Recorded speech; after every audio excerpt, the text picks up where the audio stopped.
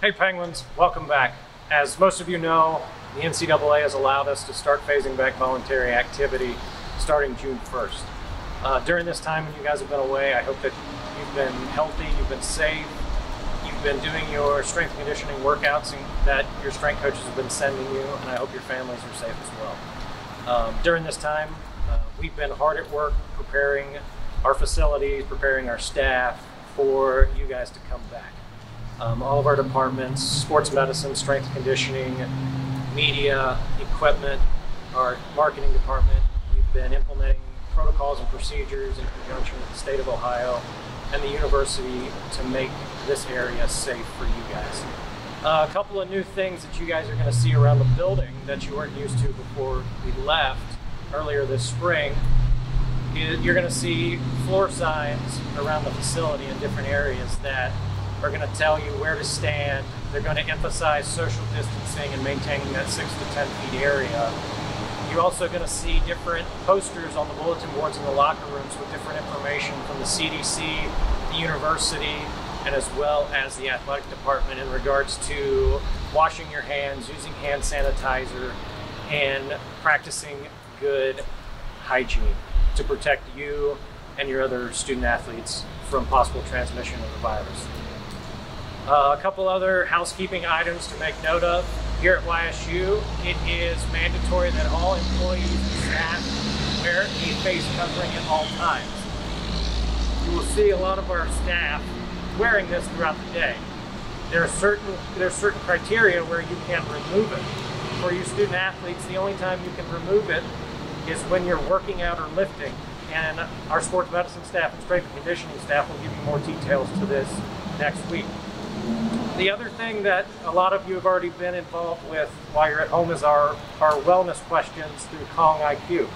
Every day, each of you and our employees are required to get on your phone and complete a health assessment. It's seven questions long, and this is how we're going to determine your status that day. You will either be able to work out based off what you answer, or you're not going to be able to work out based off what you answer. You're also going to be required to do a temperature check if you have a thermometer at home. If you do not have a thermometer at home, there are going to be locations around the building that you'll be able to do that. Before you go to workouts, or before you come in the athletic training room, you will have mandatory screening and mandatory temp checks by our sports medicine staff. Before you are cleared to work out or practice or do any activity, we have to clear you. If you do not do your health assessment before you come, you will be not you will not be allowed into the building or cleared for workouts until we should we can look up that you did it. Obviously, this is a lot of new things. So the first couple days, we're, we're going to help you. We're going to help you get through this because it's all new. Um, you guys are going to have a lot of questions about different things regarding this area, and we're here to help. Whether it's me, Steve, Matt, Terry, Alvy, Prado, or Mark or Rick Love, or Robert Schmidt in the marketing department. We're all here for you guys to keep you safe. Um, the other thing I'll say is, to begin with next week, locker rooms are closed. You will not be able to shower here. You will not be able to bring, put your workout clothes in your locker. You need to come ready to lift in the clothing that Coach Terry or Coach Matt tell you to wear for the day. After your workouts, you'll go home, you won't be in the building. Each of our lift groups, you'll have a specific time and different, and we'll have time in between for cleaning and sanitation. Coach Matt will go over that as well. Um, Monday, as we as we bring you guys in, Monday is going to be our kind of our dry run with our groups, and it's going to be a lot of our returner physicals and intakes and screenings. So, Monday, you'll come in with your groups. You'll come through the door. We'll bring you in by groups of 10 only. Whatever time that the strength staff assigns you, you're going to stay with that group and that time. We don't want you early. We don't want you late to, to make sure that we, we keep that social distancing and the group numbers at 10 at all times. We also want you to stay with your groups as far as time.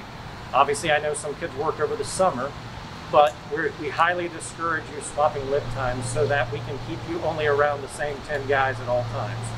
That way, in case we need to do contact tracing or quarantine you if you become sick. This, this is not only for your benefit, but your student athlete's benefit and our, our staff's benefit. Um, you'll see a lot of different things in the athletic training room. You know, we're, you'll see us wearing scrubs like in a hospital and masks at all times. We may be wearing face shields or goggles, but it doesn't change why we're here. Um, in the athletic training room, you'll have appointments as well. It will not be a free-for-all like it usually is, and we'll go into more details with that. Um, you know, with that being said, we're going to kind of show you through our different facilities and kind of give you a walkthrough, kind of a personal view of what it's going to look like and where you're going to go on Monday. So the first thing Monday, what you're going to do is you guys are all going to line outside the ticket office with your groups. We don't want you super early. We don't want you super late. If we want you here early, we will tell you that. There's got to there's got to be a big big sense of communication between everybody. If you're sick, stay home. Contact me. Contact your athletic trainer. Contact your strength coach. Contact your position coach. We, if you're sick, stay home. Do not come.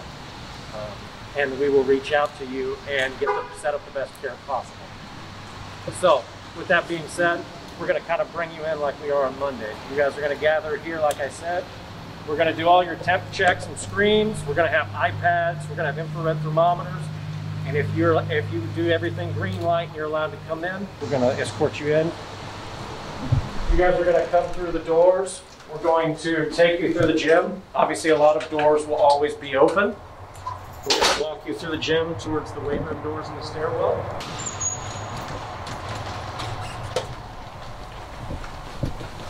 We're going to go straight down to the training room for your temp checks and screenings.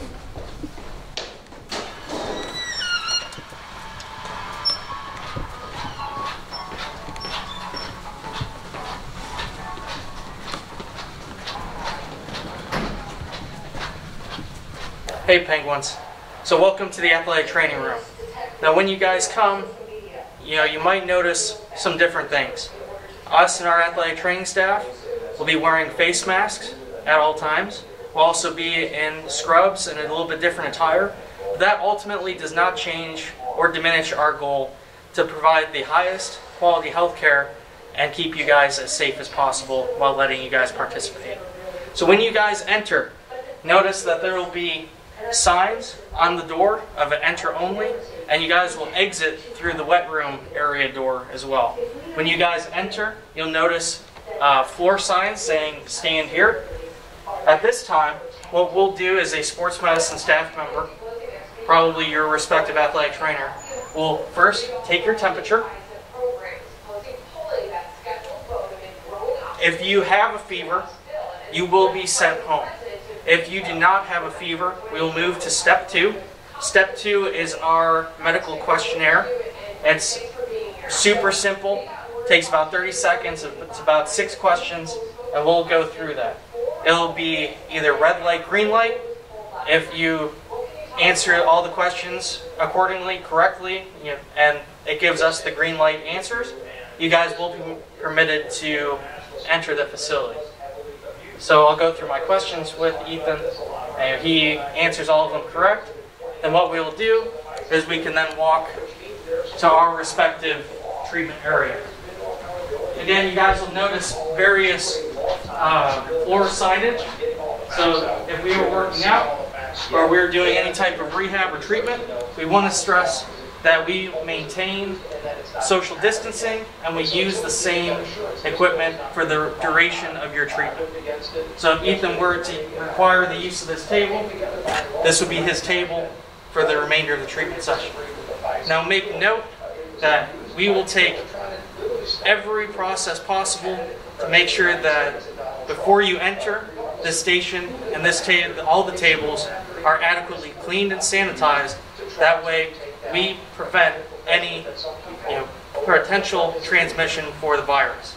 And rest assured, once the treatment is finished, we'll want, that's why it's so important that we use the appointments and not um, you know, walking in or just kind of drop in appointments. Why it's so important, that way that gives our staff adequate time to sanitize for the next individual. Now you'll notice things are a little bit different here in our hydrotherapy area. It's unfortunate, however, we will not have our cold tubs and hot tubs available for uh, treatment. So at this present time, The cold tubs and the hot tubs will not be available to you for use. However, while we're also in here, we are asking that you guys exit our FLA training facility through the hydrotherapy area, not to uh, intermingle with the individuals that enter our facility. So as we start back next week with the strength conditioning staff, okay? All of our lift groups in standby will meet under the overhang of the stadium on the north side by the big scoreboard. All of our weigh-ins, all of our nutrition, all of our check-ins for the strength conditioning staff will be out under here. From there, we will go to our designated field. So whether it is in Stambaugh Stadium, on Farmers Field, whichever it may be, from this point, we will go to that field. One topic that has been brought up over and over again is hydration. Athletes, you will be asked to bring your own water bottle. We will not be supplying water bottles for you. However, we will have pumpers to refill those water bottles if you need. As we get into this, make sure when we come to lifting, you have your face coverings on. As stated before in the video, once we start activity, you will be allowed to remove your face coverings during activity. Once activity has concluded, you'll be asked to put those back on. If you are a training group that lifts in the Beeghly Center, starting out, you will be asked to meet on the deck up near the weight room of the Beeghly Center or at your designated field. Your strength coach will give you that information. If you guys have any other questions, please feel free to contact me or your strength and conditioning coach. Uh, the new the new restrictions we have in place here in the equipment room we got a glass partition here that you can see where we patch things under. There'll be no student athletes allowed in the equipment room unless it's by appointment and we let you in. The door will be locked. All transactions will have to take through carousel by the window. The laundry chute, only one will be open. Uh, the one without the handle on, so you have no no desire, no need to touch anything there. You can just throw it down the chute.